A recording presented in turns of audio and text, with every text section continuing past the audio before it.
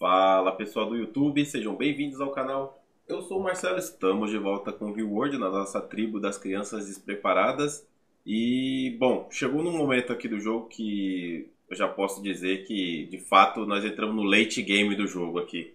E para quem acha que o late game do, do Oxygen Not Included é, é, como é que eu posso dizer, é arrastado, é porque não conhece o do Ringworld, tá? O do Ringworld, as últimas pesquisas aqui, além de elas serem completamente demoradas para serem feitas, tá? Elas exigem um, um, uma quantidade muito grande de recursos, geralmente muito aço, vai exigir muito aço aqui, é, e componentes. E são recursos que eles não são renováveis, né? Tipo, eu posso até mais para frente aqui, quando eu chegar nessa parte aqui, ó, eu tenho o multianalisador aqui, depois eu vou para perfuração subterrânea, né, e scanner de penetrador subterrâneo. Né, eu posso é, ir evoluindo para é, é conseguir pegar material de dentro da terra, né, debaixo da terra. Mas ainda vai demorar um pouquinho para chegar lá, que eu tenho que seguir aqui a lista de, de pesquisas, né. Falar nisso, eu terminei a torre de, de canhão, mas ela é bem cara, tá? ela custa 350 de aço, ela é ótima para fazer defesa é, é uma pré-defesa, né, para você se preparar do lado de fora, principalmente contra os os os sappers, né, principalmente contra os sappers. Colocar duas pelo lado de fora de cada lado, de, é, nos quatro lados da base, ajuda bastante. Essa parte do jogo aqui, inclusive, é a parte que chega que normalmente a maioria dos jogadores optam pelo pela colônia dentro da montanha, né? Essa é a parte do jogo onde o pessoal opta por pela colônia estar dentro da montanha, porque é nessa parte aqui que as invasões começam a ficar complicada. Por exemplo, se eu tomo uma invasão aqui agora, por exemplo, dos do Sappers, né, dos sapadores, e eles vierem por aqui, eles vierem por, sei lá, três localidades diferentes, é, os Sappers eles sempre vão vir atrás da cama, tá? Então eles sempre vão tomar um caminho reto até a cama. Eita, tá aberto aqui. Caramba, esse bicho aqui ele podia ter fugido e não fugiu ainda já da constrói aqui. É, então, peraí, deixa eu mostrar para vocês aqui. Então, qual que é a minha ideia aqui? É que eu não tenho aço por enquanto, mas a gente vai ir atrás desse aço aqui. A minha ideia é produzir pelo menos essa torre aqui, ó. A torre de, de canhão automática. Essa área de dentro é a área que eu não consigo atacar, tá? E a área de fora é a, é a área que eu consigo atacar. Então minha ideia inicial seria aqui não, né? Porque aqui é a entrada já, os caras podem chegar até aqui, né? Mas por exemplo, é, defender essa área aqui com uma, por exemplo, aqui, ó, uma aqui e aí a outra iria aqui nessa área aqui, ó, para pegar a outra diagonal ali. Então teria que proteger a área de fora, né? A outra viria aqui por cima, ó, para proteger essa outra área. E a outra viria aqui. Então com isso eu tenho, eu teria uma cobertura completa de todos os lados, né? E aí talvez eu só não faria embaixo, porque embaixo eu, consegui, eu conseguiria segurar os sappers muito facilmente por essa área aqui, né? Então o que, que eu faria? Eu colocaria uma aqui nesse ponto aqui, ó. Colocaria uma nesse ponto aqui, por exemplo. Tá vendo? Aí os sappers, o máximo que eles viriam seria por aqui, ó. Por esse caminho aqui. E aqui eu conseguiria defender rapidamente, porque os meus, os meus colonos estariam aqui nesse ponto. Então aqui iria mais uma aqui ainda, Tá? Isso sai muito caro fazer esse tipo de defesa. E é por isso que eu tô falando que é a parte que o pessoal opta por por estar tá dentro de uma montanha nesse momento, porque defender o lado de fora da base é bem complicado. Fora isso, ainda tem que passar eletricidade para isso, né? Não é uma coisa muito fácil não de se fazer. Vai muito componente, vai seis componentes cada um. Plastiaço até que é fácil conseguir, mas o aço, o aço é complicado. Aí eu teria agora que limpar essa área aqui, ó. Isso aqui eu tenho que desconstruir, na verdade. Isso aqui é parede, né? Essa área aqui. Opa, aqui não. E aí eu tenho que escavar isso aqui para pegar essa área aqui inteira de plastiaço, ó. Aqui também. É, eu preciso de aço, mano. Eu preciso de muito aço agora. É, eu tô, tô até com bastante componente durante esse período aí que, que, que eu fiquei esperando as pesquisas acontecer eu consegui fazer umas negociação e deu para comprar bastante componente. Né? Deu para fazer várias trocas aí pegar bastante componente. Foi a maior parte das minhas coisas também. Pode ver que tá quase vazio aqui, ó, essa área aqui. Colete de artilharia de defunto. Isso aqui era para estar tá sendo processado aqui na, no, na fundição. Fundir roupa. Fundir roupa de defunto. Qualquer roupa, desde que não seja limpa ou que nunca for usada por um cadáver. Que estranho. O Alexandre tá dormindo. Bom, deixa ele acordar. Bom, enfim. É o que eu tava falando. Já estamos de fato. Já, na verdade, acho que desde o episódio retrasado a gente já tava no late game, mas isso aqui é uma parte que realmente, na hora que chega nessas pesquisas aqui, eu acho que na verdade o late game do jogo. Ó, eu considero, por exemplo, aqui é, fica bem dividido, né? Mas eu considero o early game do jogo toda essa parte aqui, inclusive a parte da eletricidade. Tá? Eu considero o early game do jogo. Acho que a eletricidade é imprescindível no jogo desde o início.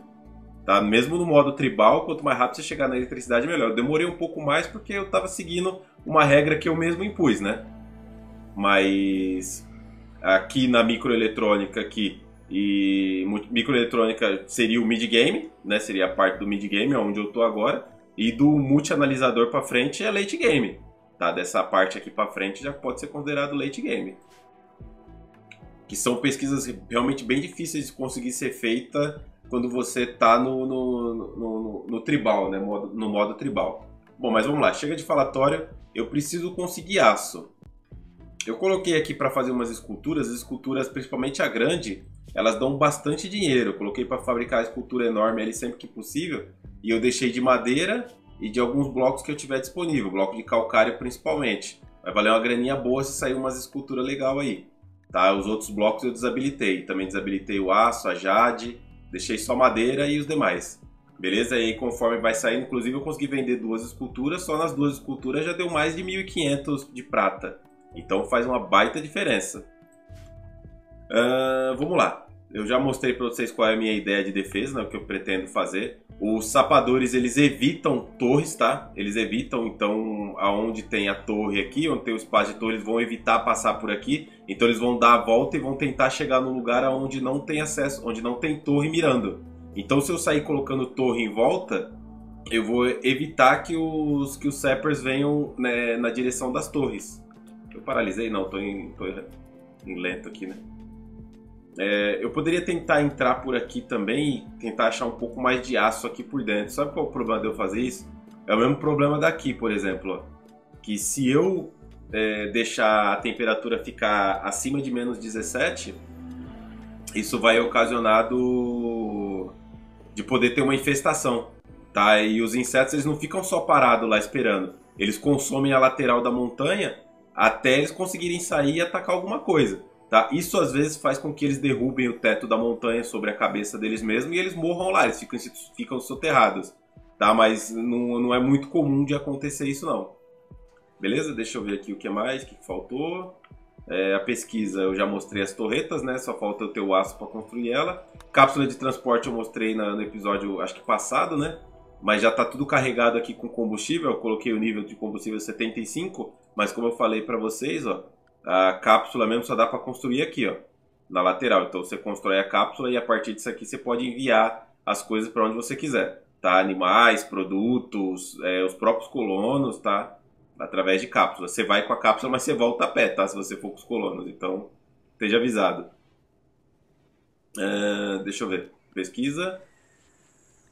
É, produção de medicamento. Eu já estou produzindo, mas eu acho que acabou meu, acabou alguma coisa aqui. É, para produzir o medicamento, a medicina, eu preciso de um de medicina natural, uma neutroamina e três panos.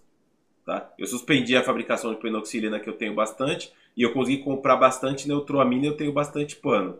Tá? Então, quem pode fazer isso aqui é o Jefferson, no caso, porque ele tem um intelectual alto né, e tem fabricar. Ah, o Jefferson não, desculpa, o Alexandre. Tá? Que ele tem 17 de, de intelectual e 17 de fabricação.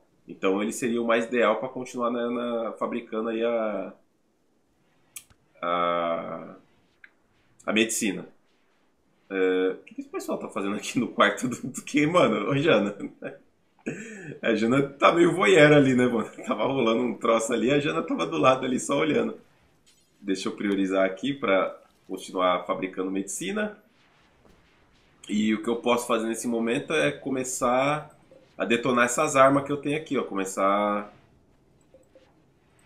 Deixa eu ver. Tem essa minigun aí, mas eu nem sei se eu vou... Não, missão eu vou, vou, vou ficar evitando por enquanto. Porque é, o objetivo dessa série aqui é mais as pesquisas mesmos e, e, mostrar o que mais ou menos cada coisa que faz, né? É, eu estou pesquisando agora televisão tela plana, cinto escudo eu já comentei, cápsula de transporte já comentei também, já fiz lá os dois, a torreta eu já comentei também, armas de precisão já coloquei para fabricar o rifle de precisão, só que vai muito componente, muito aço, né? E aí eu estou pesquisando agora a televisão de tela plana. Eu já poderia ter construído a TV de tubo, inclusive, e eu não sei porque que eu não fiz, mas acho que ela vai muito espaço, acho que não vale a pena fazer ela. 80 de aço e 4 componentes. Não, não é espaço, é, é, recurso, né? É besteira gastar. Isso aqui, eu poderia pôr ela aqui, ó. Se eu colocar ela aqui também... É, aqui tá bem no caminho. Um lugar bom pra pôr ela seria aqui, ó. Aqui seria um lugar legal. Ela tem 3 de distância, né? De, de espaço. Ó, chegou os comerciantes de combate. É bom que eu tenho um monte de arma pra vender. E esses são meus aliados, né? Alô, Berion. Vai lá, Jefferson. Deixa eles chegar dentro da base, porque se eu é, importunar eles ali, se eu fizer negociação ali, os itens vão ficar ali. Então vou deixar eles entrar aqui dentro da minha base. Negociar, vamos lá. E comerciantes de combate também no espaço, ó. Cadê o Jefferson? Aí, boa. Então vamos vender tudo isso aqui, mano. Eu não vou derreter pra fazer aço, não. Vou vender mesmo. Eu quero a grana. É, o lançador de foguete. Mano, o lançador de foguete triplo tá com 37%, tá valendo 8. Fazer o que, né? Arco, beleza. Vende a pistola, vende, vende, vende. Isso aqui foi tudo dos caras que saíram, que tretaram aqui, né? Vende, vende, vende. Vende o lançador incendiário, vende. Vou vender praticamente tudo aqui. Metralhadora leve. Essa é boa, mas eu vou vender submetralhadora, eu tenho um rifle de assalto que vale 52, vou vender, e tenho uma minigun pobre que vale 96. A minigun ela é boa, mas ela, além de ela ser pobre, é, ela não está encaixando bem aqui na minha base. Ela é bom com corredor extenso. Então acho que eu vou vender. Ó, aqui tem um lança-carga normal e uma minigun excelente. Olha o valor dessa minigun aqui, ó. Olha a precisão dela de longo alcance, 22, do médio e do pequeno é 30. Ela tem um alcance de 31 né, e um dano de 10 por tiro. O lança-carga aqui tem um dano de 30. Esse lança-carga ele é tipo um rifle de assalto, só que ele carrega mais rápido, né? Não sei, viu, mano. Tenho bastante ouro para negociar, mas não, né? Já esse ouro aqui é, tem, tem outra. Deixa eu ver aqui. Eles têm componente, tem umas bombas para vender. Não, eles não têm componente, disfarce. Eles têm medicina. Medicina eu tô fabricando já. Fala Shadow Storm Player, seja bem-vindo ao canal, obrigado por se inscrever. Uh, submetralhadora, mano, eu vou ficar só assim mesmo, só vou vender não sei se eu pego essa lança-carga aqui, mano. A minigun é besteira eu comprar, mas essa lança-carga aqui... Eu vou confirmar e vou pegar o Jefferson e vou ir lá no... Vamos ver aqui o que, que eles têm. Ó, eles têm componentes, 5 componentes, já vou comprar. 45 componentes deles, vamos ver o que eles têm de arma aqui, de bom. Capacete catafrático, isso aqui é vai demorar para eu ter para poder fabricar isso aqui, viu? Capacete de reconhecimento também, mas eles têm melee, né? Plasma Sword, mas eu tenho já. Eles têm o um projeto técnico de membros especializados para a gente começar a melhorar nossos colonos. Inclusive é uma área que eu já poderia começar a me especializar um pouco também, né? que agora que eu estou fabricando uma medicina melhorzinho, eu já poderia começar a fazer uns implantes já para colocar nos colonos. Não sei, viu, mano? Membros especializados, o que, que vai liberar? Braço de broca, garra potente e mão do campo. Movimento menos 8%, penetração de armadura, dano corpo a corpo por segundo 11. Isso aqui é pro, pro, pro corpo a corpo, né? Não, não vou comprar isso aqui não. Mesmo sendo um projeto técnico, eu vou cancelar. Não vou comprar não. Eu vou pegar aquela lança-carga.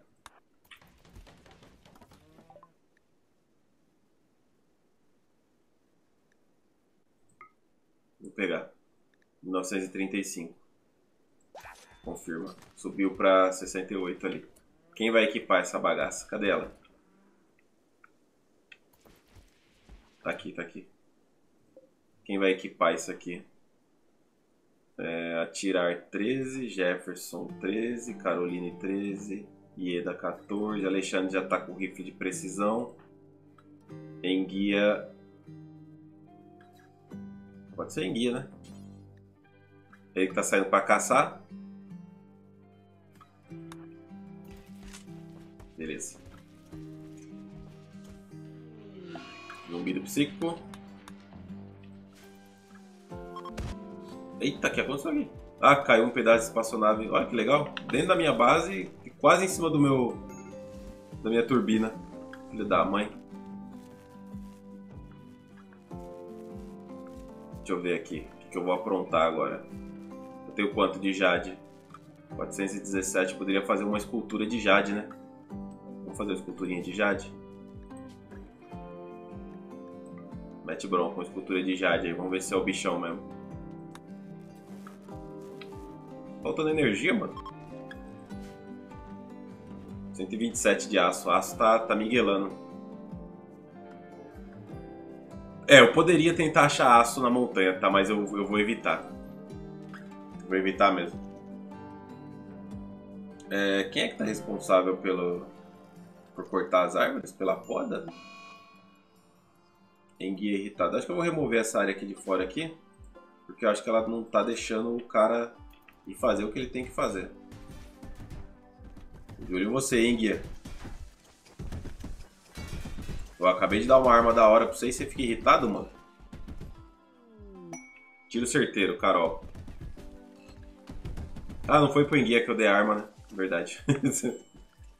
Animais, ok. Deixa eu dar uma olhada. Ele não conseguiu pegar o trumbo ainda. Vamos matar uns asno. Matar o paca. Warg não. Bode Ibex. Peru. Matar uns bichos aqui pra fazer mais comida. Porquinho da Índia não. Mega preguiça não. Matar os asno? Não. Então assim tá bom. Eita, tempestade. É, é seria um bom momento para eu. Eu preciso de aço, mano. Preciso de aço para eu continuar a evolução aqui do negócio. Sem aço eu tô lascado. Deixa eu ver o que, que eu apronto aqui. Levar o Jefferson lá pro mundo, pro mundão.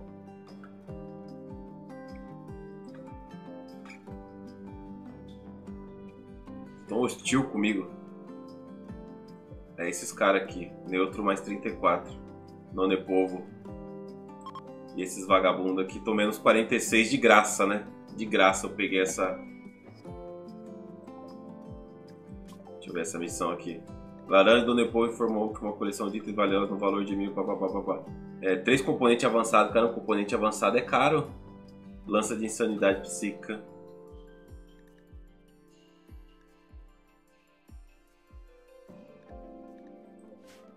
É aqui do lado. Aglomerado de mecanoide, possível ameaça desconhecida. Não, deixa quieto. Não tô podendo fazer isso aí agora não. Ok, beleza, deixa rolar. Hum, se, eu, se eu tivesse com um gameplay normal, eu estaria pulando várias pesquisas aqui que eu não precisaria, né? Mas a gente tá vendo o máximo de coisa possível aí. Armas de multibarril é só para fazer a minigun, por exemplo, essa pesquisa aqui, ó. É só para fazer a minigun. A minigun é muito pontual, tá? A maneira de usar ela não é tão simples assim, não. ela não é uma arma tão diferenciada assim não, viu? Deixa eu ver aqui. Ela tem um. Ela é, é bem complicadinho usar ela. Ela funciona bem num corredor longo, entendeu? Porque o objetivo dela não é você mirar. O objetivo da, da minigun não é você mirar no cara. O objetivo é você atirar em um ponto específico e quem passar no caminho toma tiro. É assim que ela funciona. Da melhor maneira é assim que ela funciona. Beleza, vamos cortar mais árvores.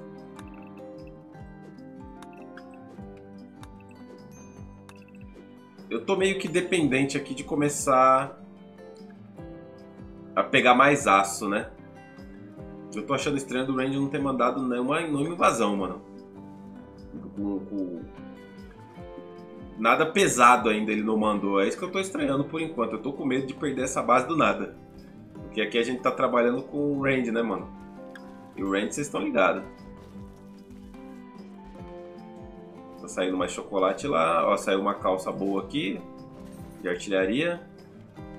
Ficou tudo verde aqui dentro por causa da lâmpada. Bom, vamos aguardar aqui para ver se acontece alguma coisa. Bom, então, o Jefferson acabou de receber a característica de negociante. Então, o que, que eu vou fazer? Eu vou pegar o Jefferson. É, ele vai ficar oito dias, se eu não me engano, com esse bônus, né?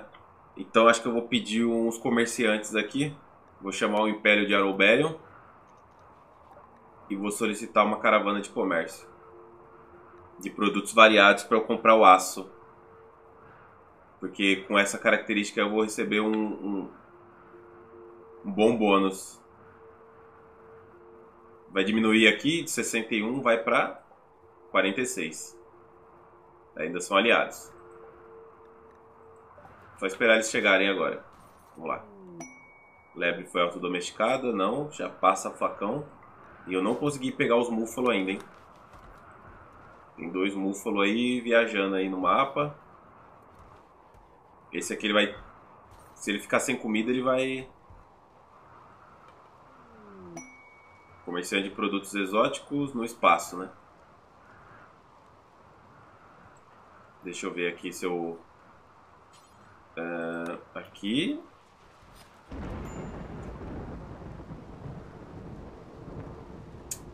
que, que esse cara tem? Projeto técnico, análise molecular, influência circadiana. Eles têm ouro. Quanto mais ouro eu acumular, melhor, viu, mano? Caramba, eles têm muito ouro. 325. Só que não é o momento pra isso, né? Não é o momento pra isso, não. Vamos vender a cerveja. Ah, não, não posso fechar esse negócio com o Jefferson, não. Senão ele vai perder o comerciante. Deixa eu ver se eles têm alguma coisa aqui de interessante. Componente. É mais drogas mesmo, né? Tem dois asnos, um elefante macho. Ah, não. Ah, o estômago nuclear. Pera aí então, deixa eu cancelar aqui.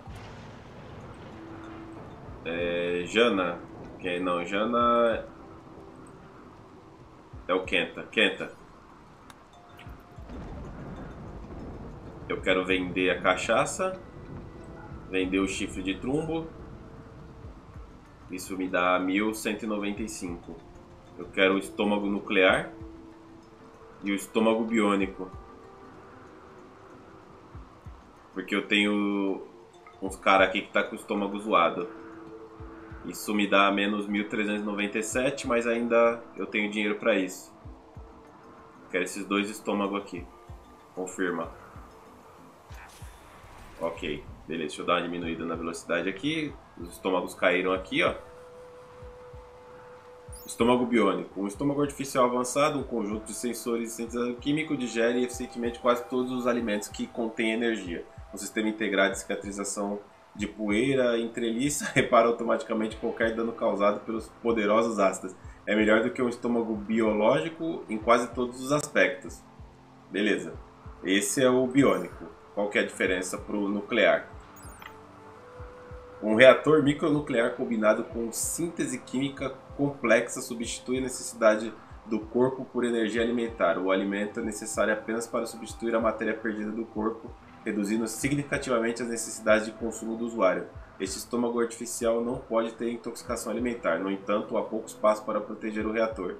Portanto, a radiação aumenta o risco de câncer. Hum.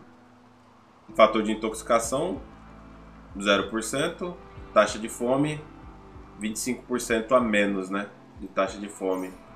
E o outro. O outro não tem nada, é só implantação mesmo. E caramba, eu tenho dois com estômago zoado, não tenho isso? Olho direito cortado fora, Jana, o dedo médio mordido. Ó, Carolina, estômago destruído. É, Alexandre, estômago destruído. Enguia, nariz destruído. Cicatriz de arranhão. É isso mesmo, eu tenho dois com o estômago zoado.